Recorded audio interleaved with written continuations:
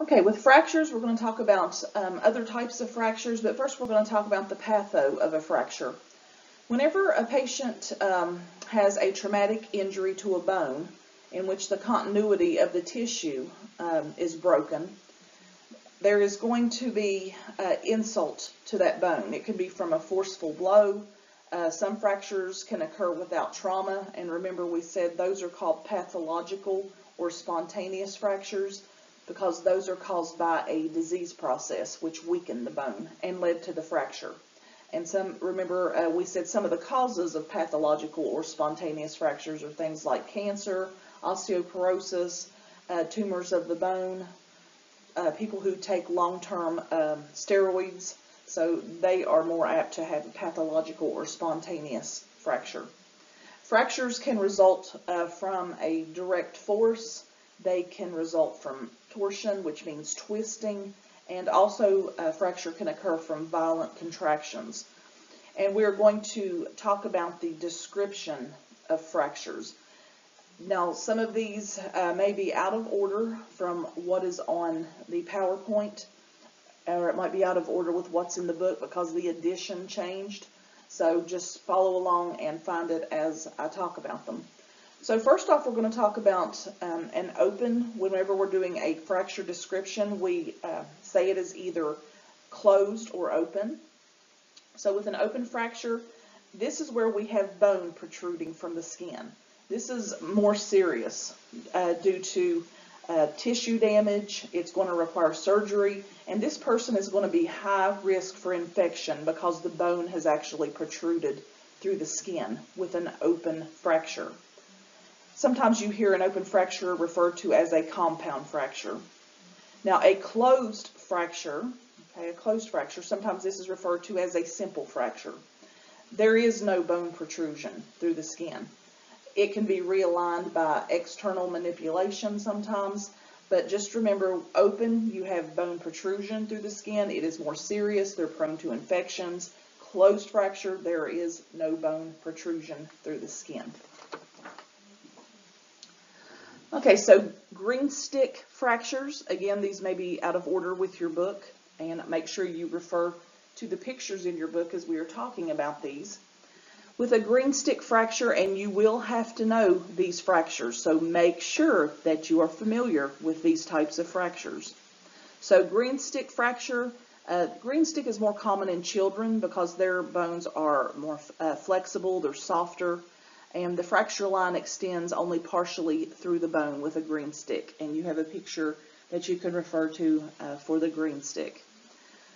A complete fracture is a fracture that extends completely through the bone. Okay, uh, and even the uh, periosteum is interrupted on both sides. Remember, periosteum from anatomy and physiology is just the membrane that lines the outer surface of the bones. So again, a complete fracture, it is extending completely through the bone and it has disrupted the periosteum on both sides of that fracture. Comminuted fracture. A comminuted fracture is splintering of bone in three or more fragments. Okay, When we think about comminuted fractures, and even when you look at the picture in your book, with comminuted, you think about crush injuries. Okay, so someone who has been in an accident that involved crushing. So that is what we think about with comminuted. Impacted fracture, sometimes this is referred to as a telescoping fracture. This is where you have one or more fragments uh, that is forcibly wedged into another bone fragment. Okay, this can actually cause shortening of the extremity uh, in long bones with impacted fractures. Transverse fracture, this is where the break runs directly across the bone and we remember it is at a right angle. So transverse fractures, we have a fracture at a right angle. Oblique fractures, uh, it runs, the break is going to run diagonally across the bone. And what we remember about oblique, it is at a 45 degree angle. Very important. So oblique, we have the break running across the bone, it's at a 45 degree angle. Spiral fractures, uh, this is where the break coils around the bone. Okay, and it results from some sort of twisting, a twisting force is what, uh, if uh, an extremity has been twisted, we will see spiral fractures.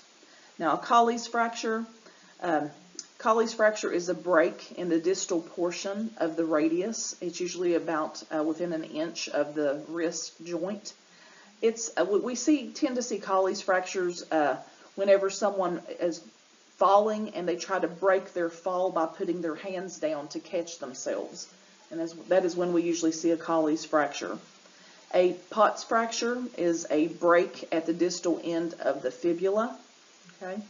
And what happens when you have that break at the distal end of the fibula and it chips off a piece of the medial um, malleolus, okay, that bump uh, on the, when we think about that, it's the bump on the inside.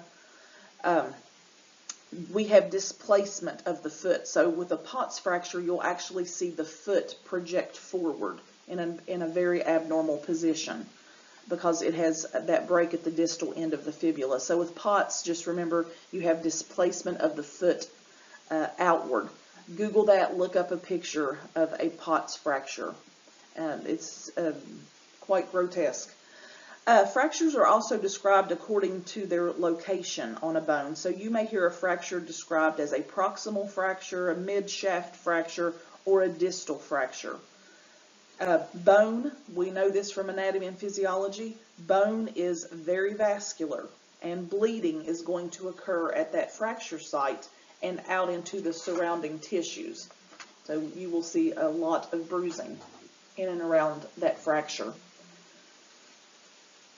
So with uh, clinical manifestations, okay, when we're doing our assessment, uh, we're going to hear the patient complain of, of course, pain, there's going to be loss of normal function. We're going to see a deformity. We also uh, can see a change in the curvature or the length of the bone. Um, remember when we talked about hip fractures, we said that leg will be shorter and it's externally rotated. Uh, we talked about hearing crepitus. Okay, so crepitus, uh, that grating sound, okay, with bone rubbing against bone. So that's something that we may also uh, see during our assessment. So crepitus, soft tissue edema, so we're going to see edema. There may be warmth over the injured area. The ecchymosis, the bruising of the skin and out into the surrounding tissues. The patient may complain of loss of sensation. Okay, if they complain of loss of sensation, okay, that indicates that we've got nerve constriction going on either the nerves are constricted or they have been, they possibly have been partially or totally severed. Patient may display signs of shock, okay, due to the tissue injury, blood loss, severe pain can put a patient into shock. Uh, during my assessment, we're going to do the rapid orthopedic and peripheral vascular assessment that we talked about earlier. Remember your seven P's. We've got to establish a baseline with our patient so that we can monitor changes in our patient. Remember in the surgical chapter we talked about what was the importance of taking baseline vital signs. Well, so you have something to compare it to later on. So again, the P's, uh, one of the P's stands for pain. Okay, is this pain out of proportion with the injury? Okay, or has it increased with active or passive motion? So pain, pallor, you know, that means pale. Paresthesia, okay, that numbness, paralysis, polar temperature, okay, is the extremity cold or colder as compared to the other extremity that isn't injured? So we're looking for that polar temperature. Does the affected extremity feel colder? Puffiness, that's our edema. Okay, so we're looking for edema, hematoma, things like that. Pulselessness, so no pulse. If we are unable to palpate um, distal pulses, uh, make sure you utilize a Doppler ultrasound device, and that can determine whether we have blood flow. Subjective data, the patient's going to complain of pain, loss. They can uh, complain of loss of sensation. They might tell you the cause of their injury, how it happened.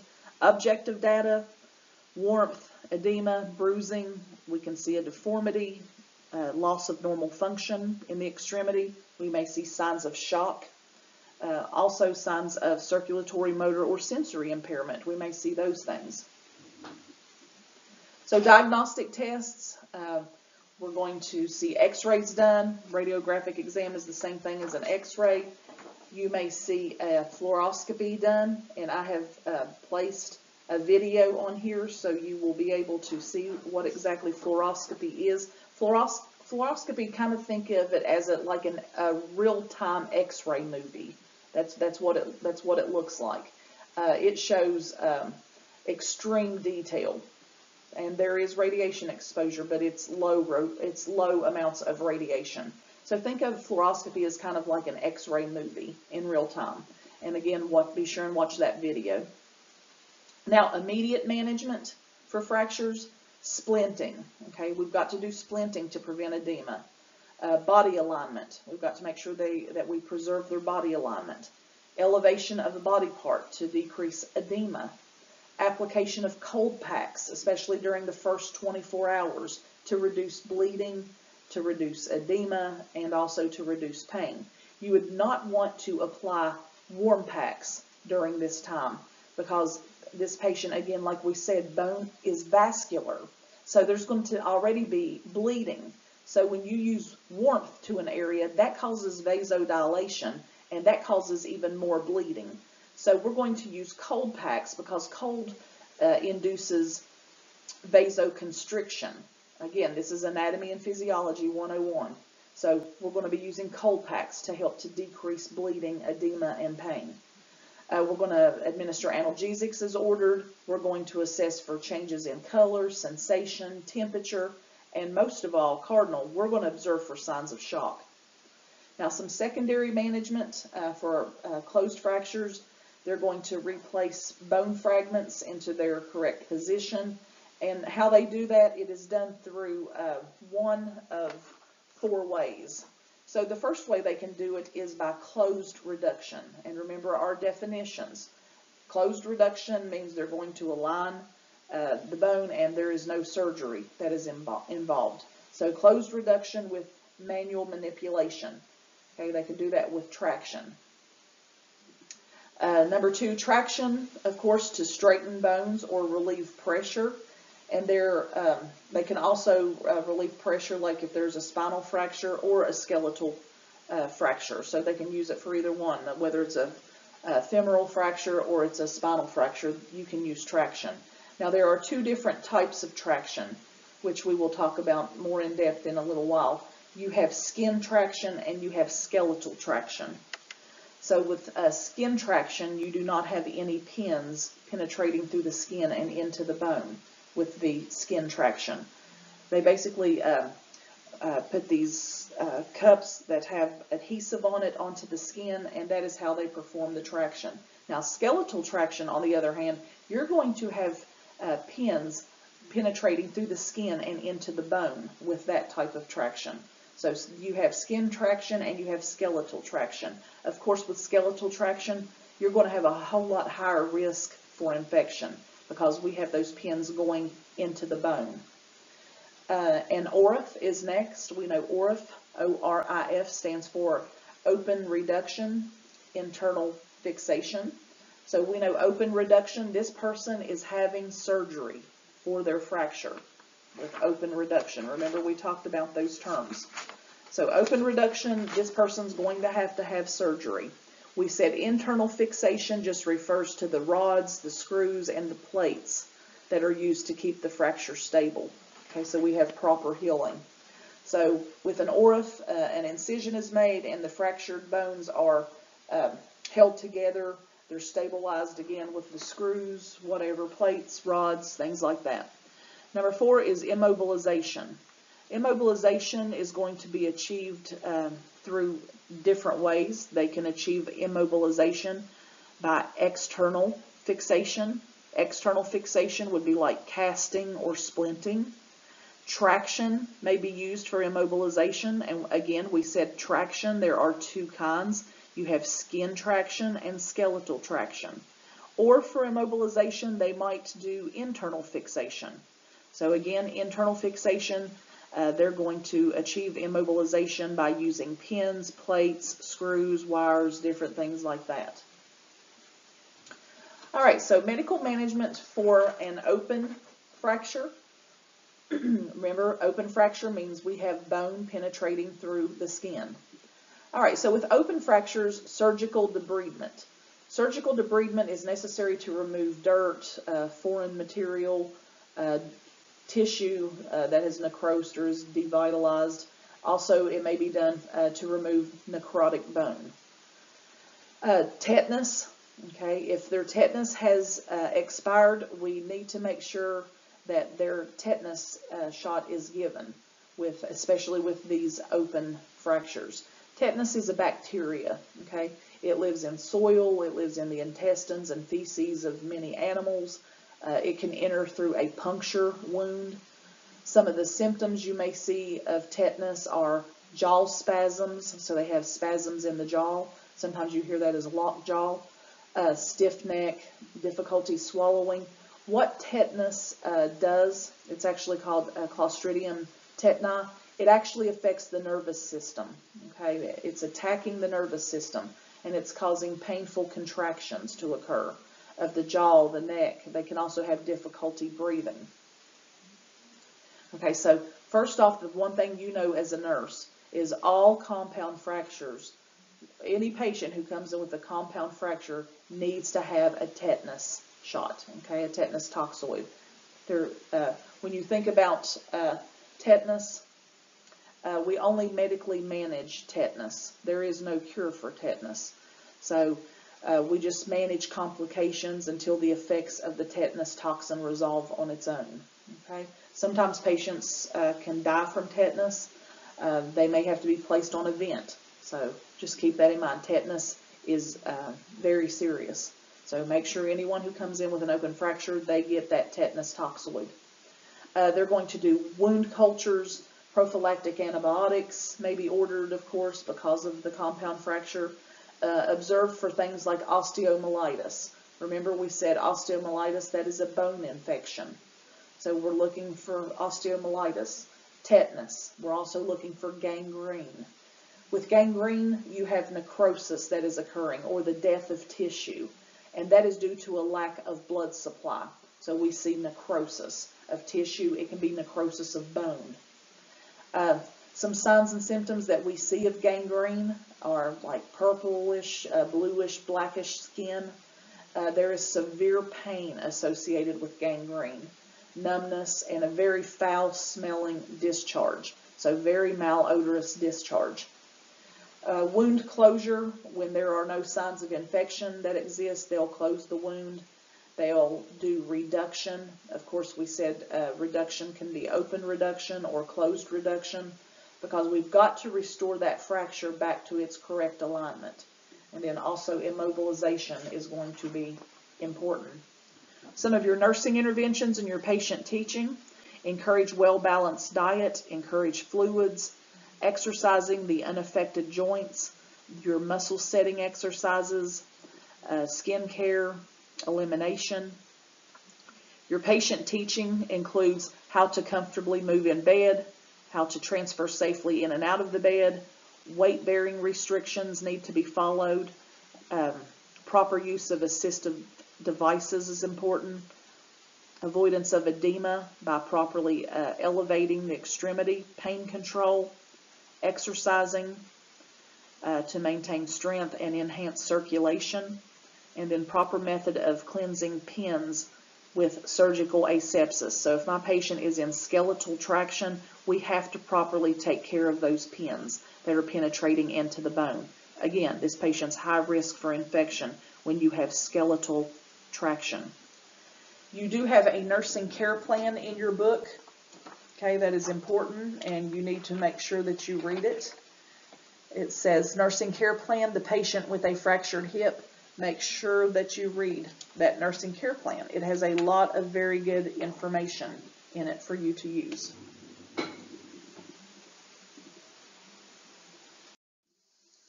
All right, so we're going to be talking about fracture of the vertebrae. Okay, so uh, when we think about uh, vertebral fractures, uh, we think about how they happened. Uh, some of the uh, pathos of uh, vertebral fractures include diving accidents. So someone has dove into uh, shallow waters or they've hit something uh, with their head uh, when they have dove into like murky water. So they've may struck their head on a submerged log or something like that. Um, any blow to the head or body can cause a vertebral fracture. Osteoporosis can be a cause. Metastatic cancer, motorcycle, car accidents. Uh, a displaced fracture uh, can place pressure on or actually sever the spinal cord nerves.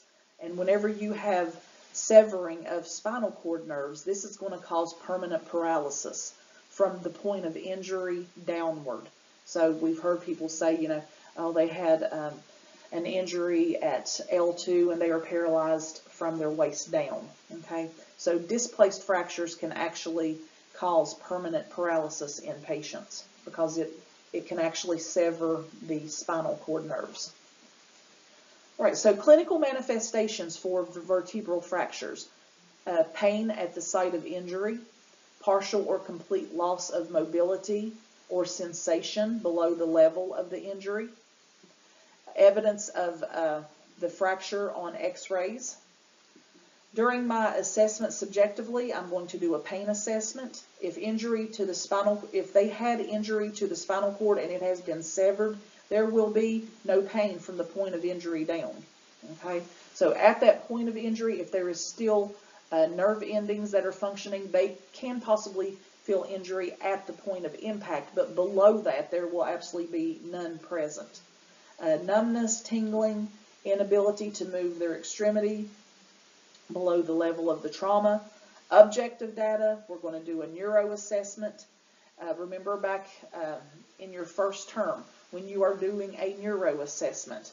Some of the very important things that you assess with uh, during a neuro assessment. This is during your head to toe assessment. You're looking at pupillary reaction to light. Okay, so you're taking your pin light and you're shining it into the pupil and you should see the pupils constrict with that light source. That is called PERRLA. Okay, that's what you're assessing for during your neuro assessment is PERRLA. And that acronym is P E-R-R-L-A. And again, I think we mentioned this in the surgical chapter. It stands for pupils equally round and reactive to light accommodation. So I take my pen light during my neuro assessment, I shine it into the pupils, and I should see constriction of the pupil. So that is part of PERRLA, and that's part of my neuro assessment. Uh, I'm also, during my neuro assessment, I'm going to assess hand grip and strength, uh, I'm going to assess to see whether they can move their extremities. What is my patient's orientation? Okay, are they oriented to person, place, time, and current circumstances? Okay, I'm going to do vital signs. I'm going to see what their reaction to painful stimuli is. I'm going to observe for fecal or urinary retention, uh, signs of hemorrhaging. Okay, my signs of hemorrhaging, again, decreases in blood pressure, increased pulse, increased respirations, decreased urinary output. My patient might be acting apprehensive, uh, restless. Remember, apprehension and restlessness can be my first telltale signs that my patient is hemorrhaging and going into shock. So that's important for me to remember and assess for. Diagnostic tests, x-rays, they may do spinal taps to assess the spinal fluid, which spinal fluid normally should be clear. So CSF, uh, when we're talking about spinal fluid, in that subarachnoid space, it is normally clear. It should be clear. If there is the presence of blood, if it is pink tinged, okay, that indicates trauma. So that is the reason why they're doing the spinal tap. So it should be clear with CSF. If it is, if we see the presence of blood, that's indicating trauma. Okay, so medical management, medical management. When you have a patient with stable injuries that are not threatening to the spinal cord's integrity, uh, your patient is going to be treated with pain medications, muscle relaxants, uh, prophylactic anticoagulants, okay, because we're going to try to avoid uh, thromboembolic complications. So we're trying to prevent blood clots from occurring.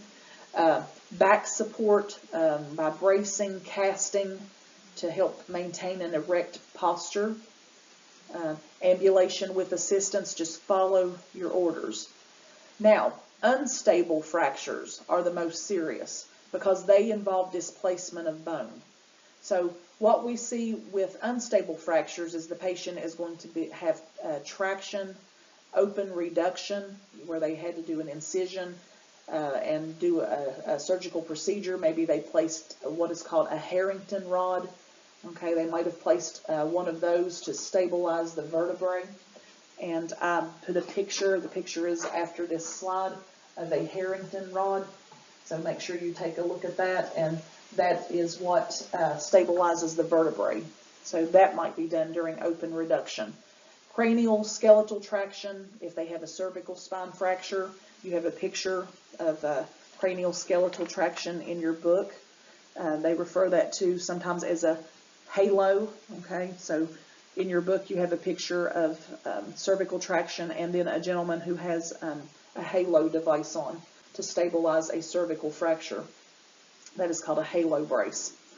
Uh, the good thing about a halo brace is, is it allows for mobility. But the thing about it is it actually screws into the skull. So uh, your patient may also uh, have, have pelvic traction if they have sustained a lumbar fracture. Nursing interventions and patient teaching. Uh, maintenance of fracture fixation. So we've got to maintain the fracture fixation device and the patient while they are in the uh, fixation.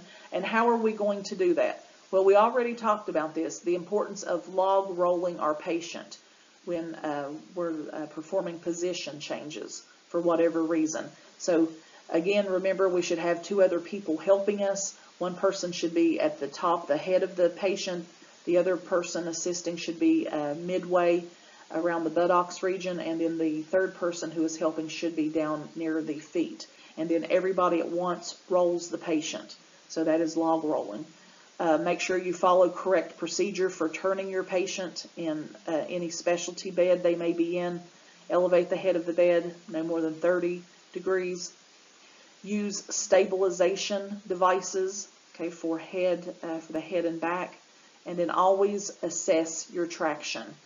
And toward the end of the chapter, uh, and we'll talk about this a little bit later, you have different uh, types of traction that can be used. You have Buck's traction, you have uh, Russell's traction. There's a whole array of different types of traction. You know, skeletal traction, which we talked about. But there is different pictures of traction located in your book. And I'm not going to say the page number because in the event uh, when this book edition changes, it will not be the same page. But just know there are pictures in the back of, uh, toward the end of the chapter that uh, show you the different types of traction. And again, you have Russell's traction, uh, Buck's traction, okay, balance suspension traction, and we'll talk about those here in a, a little bit later.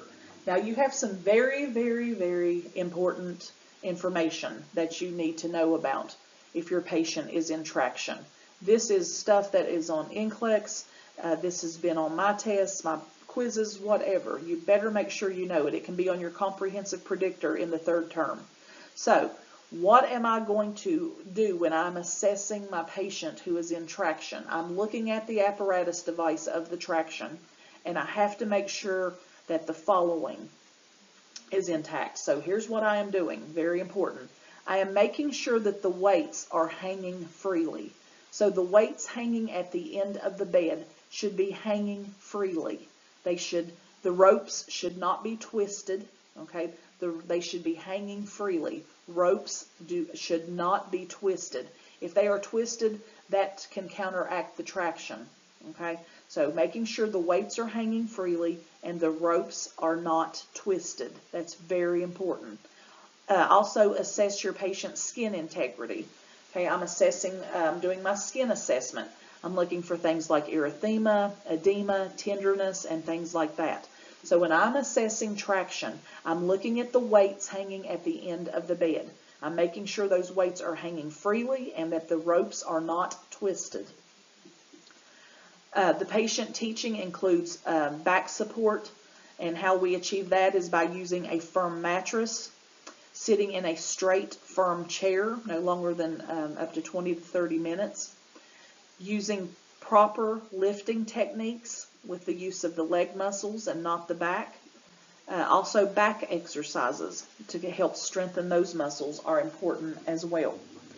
So make sure that you read over your patient problems.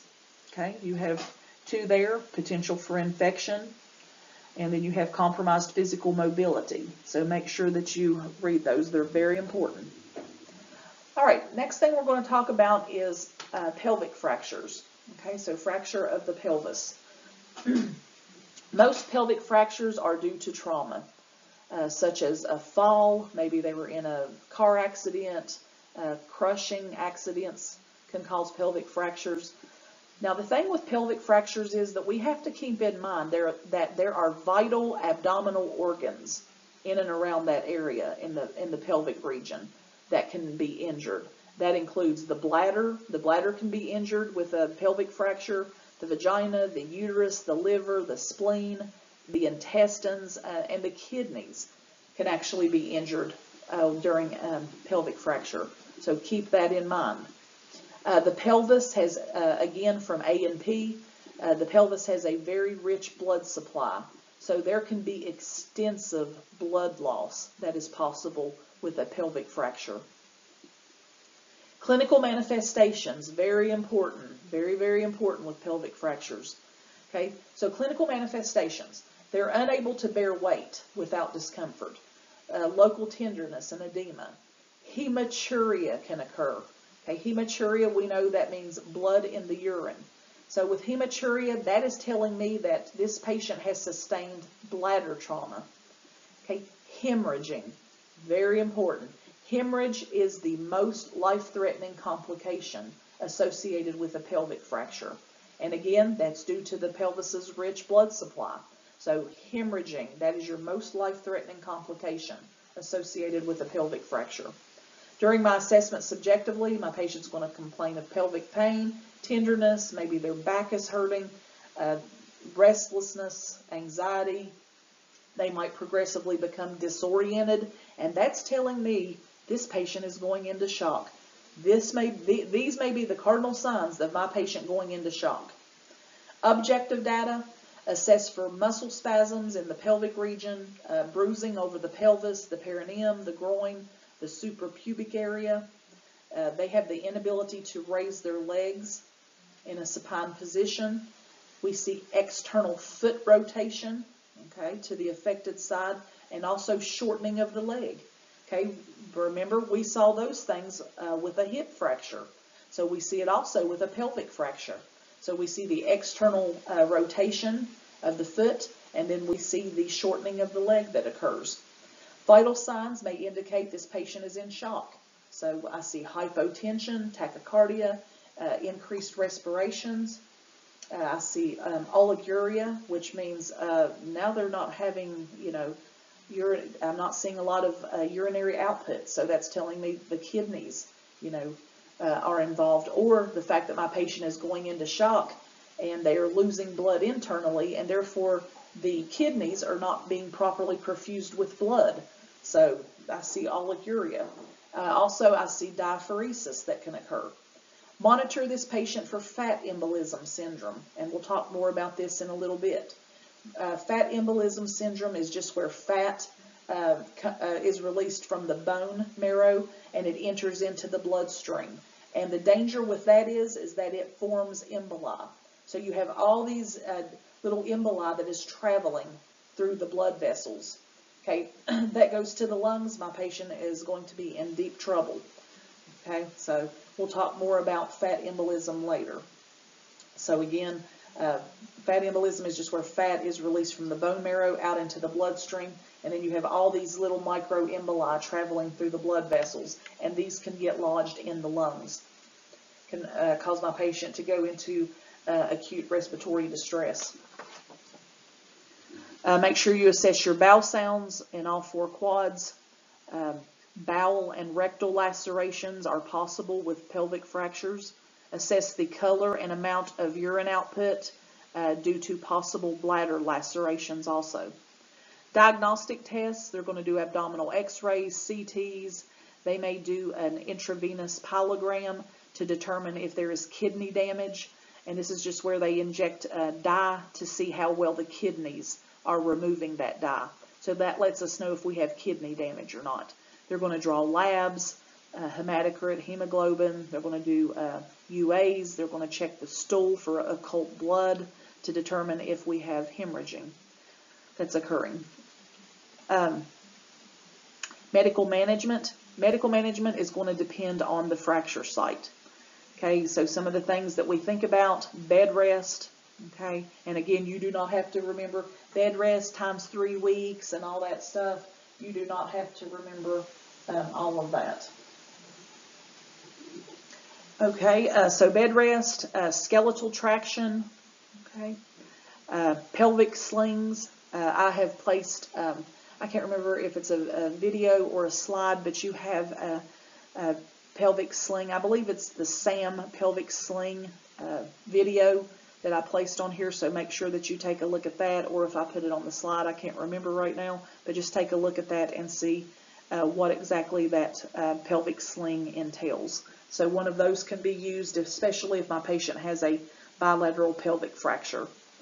Um, for severe fractures, the patient may have to be placed into what's called a spica or a body cast that may be used for um, support. You do have a picture of a spica cast in your book. Okay, so turn around, uh, put through the pages until you see it. It's uh, in a figure and it says spica cast. And it has um, figure A and B and it shows a rod, you know, um, with the casting from the um, arm down to the torso. And then it also shows a picture of a rod that's in between the lower extremities. So that is what is considered to be a spica or a body cast. So take a look at that picture. Uh, nursing interventions, patient teaching, priority, monitoring for signs and symptoms of shock. Measuring my patient's abdominal girth every eight hours for signs of increased abdominal pressure uh, due to the possibility of internal hemorrhaging. So that's important to measure that abdominal girth. And remember in the surgical chapter, we talked about how to measure that abdominal girth.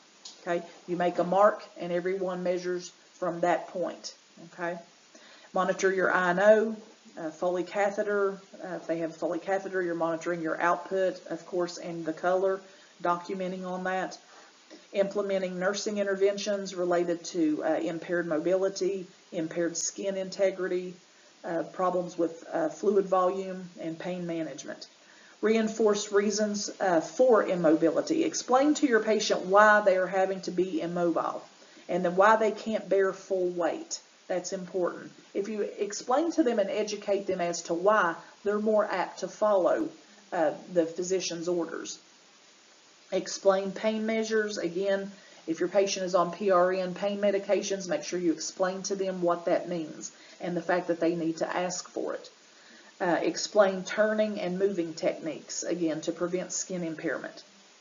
Make sure you read your patient problem, okay? Make sure you read that. There's only one. It's compromised tissue perfusion related to hemorrhage, hypovolemia, and shock. So make sure you read that along with your nursing interventions. This is a picture of the Harrington rod. The Harrington rod, if you'll remember when we were talking about vertebral fractures, these are used uh, with unstable vertebral fractures. And remember, unstable fractures are the most serious. So, and then when we think about um, a Harrington rod, they make an incision and then they place these rods down both sides of the vertebrae. And this is going to provide stabilization of the vertebrae. So this is what uh, Harrington rods look like.